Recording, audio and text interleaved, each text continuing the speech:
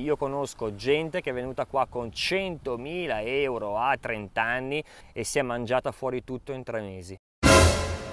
Ciao ragazzi, oggi siamo al Cablito, nella zona nord-est dell'isola, vicinissimi alla Montagna Roja e al parco protetto di Coralejo. 5 motivi per venire a Fuerteventura, 5 motivi per non scegliere Fuerteventura. Un clima arido, se vi piace il caldo ma non troppo è il posto giusto per voi. Meta ideale per bambini e per pensionati. Una leggera brezza che vi dà la possibilità di non sentire il caldo, una media di 23 gradi annui. Questo è il paradiso per l'essere umano. Temperature minime tra i 14 e i 15 gradi in inverno, in estate con picchi di 33-34 34 gradi. Fuerteventura non ha l'inverno, due primavere e un autunno. Mesi più freddi dell'anno, febbraio e marzo, scaldandosi aprile, maggio, giugno, picco di luglio-agosto, avendo il top settembre-ottobre con la temperatura anche dell'acqua del mare intorno ai 24 gradi. Uno svantaggio è l'arretratezza. Qui siamo esattamente negli anni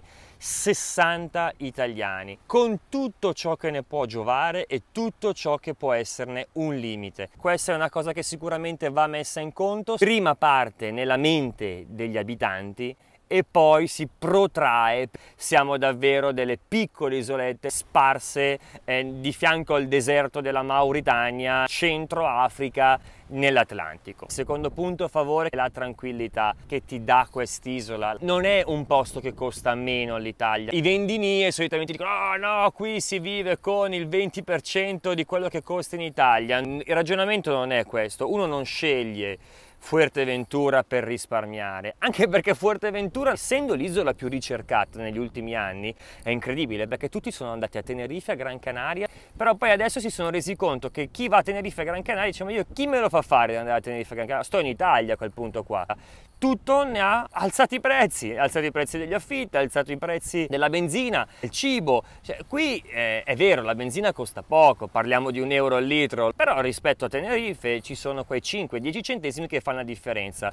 Credo sia proprio questo clima, guardate abbiamo chilometri di costa in cui non c'è davvero nulla che ti portano a rivalutare le priorità, capire davvero quali sono i principali motivi del perché siamo al mondo, sicuramente non quello di ammazzarsi 15 ore al giorno di lavoro. Oramai in Italia siamo arrivati ad un punto in cui se non fai una o due ore di straordinario sei un lazzarone, qua no Qui se siete delle persone che volete farvi il vostro piccolo, il vostro minimo essenziale e vivere la vostra vita, vi piace pescare, tanto sport, gli hobby, kite, surf, surf e chi più ne ha più ne metta, è il posto ideale per voi. Tutto quello che arriva, se non è prodotto internamente dalle altre isole, decongelato di qualità davvero un pochino scarsa. Non scarsa per loro, eh.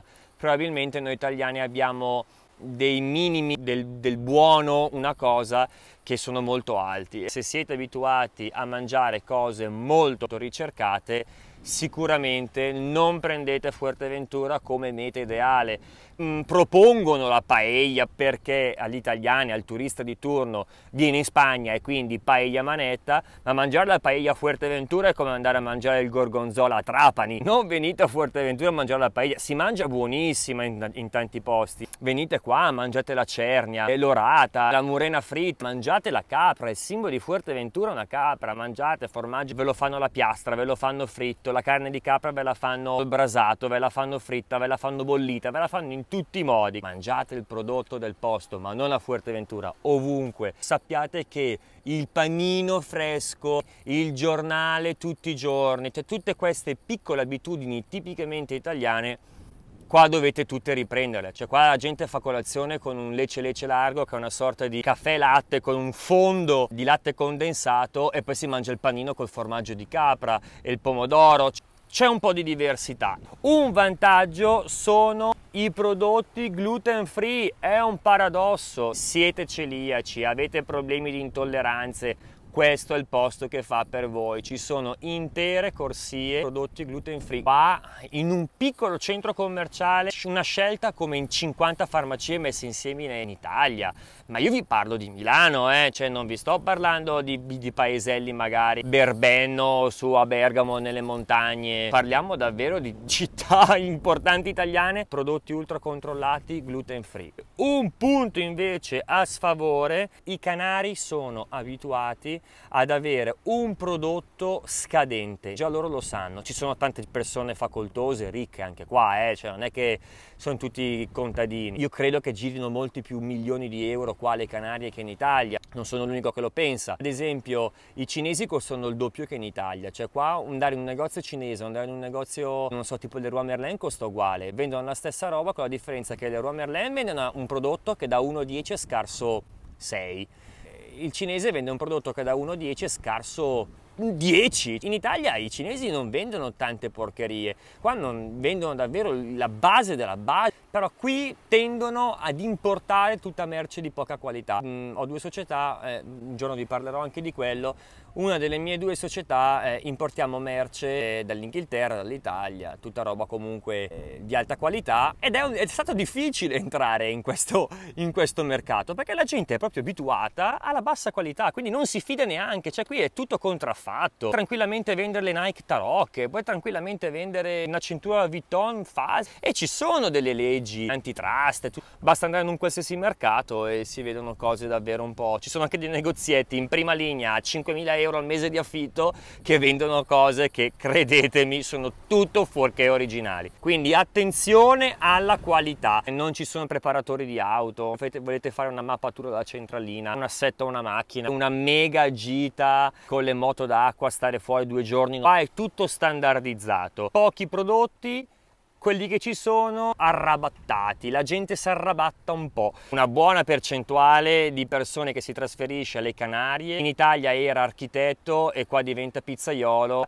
e quindi potete immaginarvi poi cosa ne, cosa, cosa ne consegue, cosa ne salta fuori. C'è questa mentalità molto italiana perché negli inglesi e nei tedeschi non lo vedo del me ne vado lì tanto lì sono indietro faccio quello che voglio mi reinvento mi reinvento sì Qui puoi fare del tuo hobby il tuo lavoro. Non potete pensare non avete mai fatto i pizzaioli in vita vostra o vi fate la pizza in casa a voi, vostra moglie, a vostro figlio una volta a settimana di poter aprire una pizzeria e mettervi a fare 80 pizze al giorno. No, ma è... poi fate una pizza che fa schifo. Cioè a Fuerteventura si mangia una pizza che è migliore che quella che mangi nella maggior parte dei ristoranti italiani perché ci sono tre pizzerie a Fuerteventura che si fanno la gara a chi produce una pizza più buona delle altre e sono fantastiche. Cioè è più buona da loro che mangiarla in Italia. Infatti a me fa sempre dispiacere andare da uno piuttosto che da un altro, cerco di girarli tutti e tre perché sono una più buona dell'altra. Un vantaggio, l'assenza di animali velenosi. Ma qua c'è il deserto, la sabbia del Sahara, mi viene in mente il re scorpione, cobra, tarantole, non ci sono animali velenosi in tutta l'isola, non ci sono meduse, c'è solo la caravella portoghese, un medusone, penso che ne abbiano avvistate due o tre negli ultimi dieci anni, i mari sono molto controllati. E tenete conto che abbiamo una costa di 600 km quindi non è, non è poco.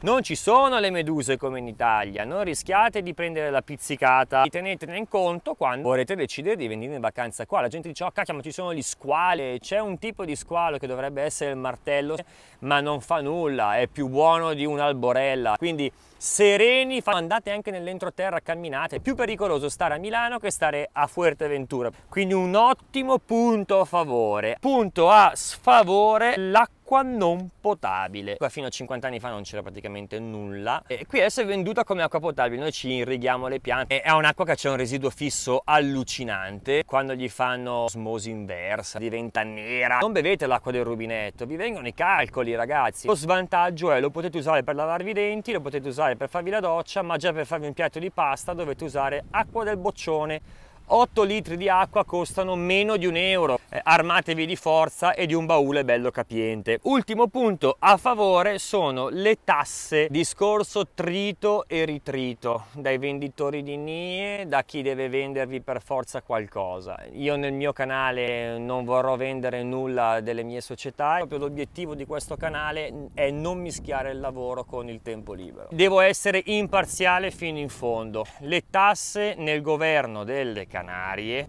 sono un pochino più basse perché rispetto alla Spagna hanno un governo loro autonomo e riescono a dare la possibilità di attirare investitori. Il pensionato è un investitore, ha una rendita fissa che gli entra tutti i mesi e quindi per il governo è un investitore. La sanità qua è perfetta. Si lamentano tanto a Gran Canaria e Tenerife, ma probabilmente perché là c'hanno un milione di abitanti. Fuerteventura, l'ospedale con la sanità migliore che ci possa essere in tutto l'arcipelago delle Canarie. Abbiamo un ospedale a Puerto del Rosario, la capitale di Fuerteventura, un'isola di 120 km per 50. Non stiamo parlando di una roba gigantesca, è una, è una piccola Milano. Peccato che c'è 150.000 abitanti. Ci sono 200 abitanti ogni chilometro nelle Canarie. L'isola è davvero molto preparata ai pensionati, una sanità che lavora molto bene, non c'è bisogno di pagare il ticket, funziona molto bene. La defiscalizzazione della pensione porta a tutti i dipendenti privati e non dipendenti, ex dipendenti pubblici, un piccolo miglioramento con il vostro introito totale.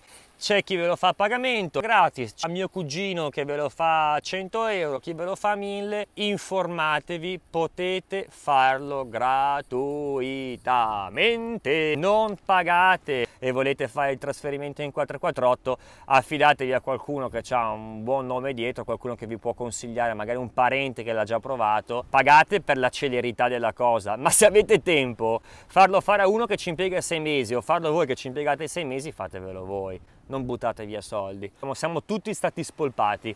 Io per primo, non esiste italiano che non è stato fregato nel trasferimento Fuerteventura e ve lo dico io in prima persona.